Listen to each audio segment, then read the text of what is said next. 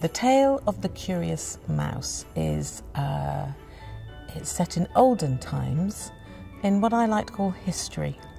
Um, and uh, it's really the story of the day, the true moment, when um, Roald Dahl, the six year old Roald Dahl, met the around about 60 year old Beatrix Potter.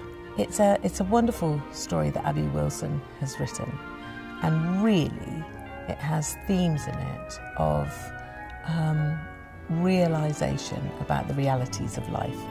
It's about not couching things in such a sweet term that children don't come to terms with reality. And I think Beatrix Potter was very keen that um, the characters in her books, you know, get baked into pies. Rats eat kittens. You know, it's not sweet.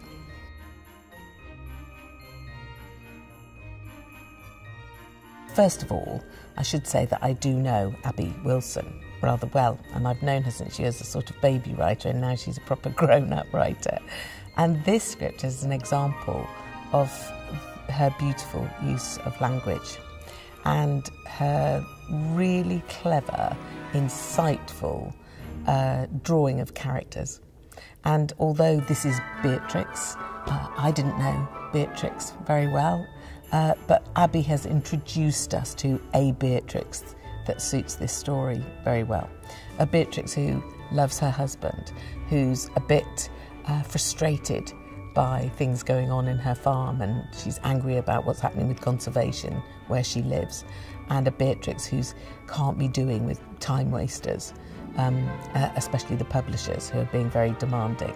But when I read the script, first of all, um, it's just got the most glorious magic at the centre of it, which is a realization between an older woman and a young boy about what life, what really matters in life. I suppose when Beatrix was meeting Roald, she didn't know that was Roald Dahl, that he was going to be who he became. Um, she just met another little pesky boy, and she had many of these uh, young kids coming into her garden looking for Peter Rabbit. And that must have been quite an annoyance for her.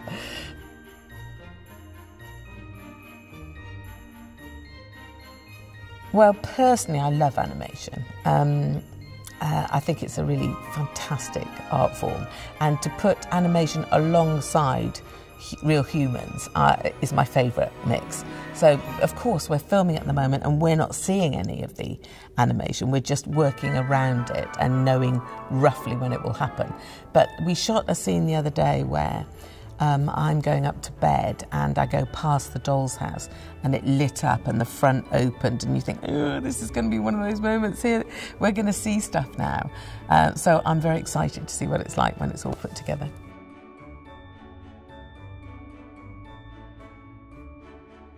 I think this is a quintessentially Christmas film. Um, there's something heartwarming about it. There's something of the snow and the wild, and uh, there's something of Beatrix that is, you know, uh, creatures in shawls and, um, you know, all hunkered down together. There's something of that. The warmth of it is wonderful.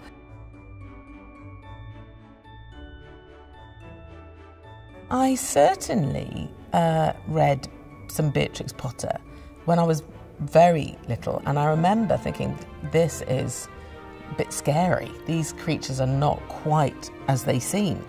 Um, and that, that was good. I remember that uh, as a child. And the same thing applies to Roald. So I'm not at all surprised that he was influenced by her because Roald, you know, not scared to go to the slightly darker side. And kids love that and it might you know it might be your first experience with something a little bit difficult to handle you know. Um, bit of violence bit of death bit of cheaters and cowards and um, people who aren't quite what they seem. But alongside that you've got the BFG you know just a force for good. So you know real good and evil characters are you know fantastic. Huge rich scene with both of those writers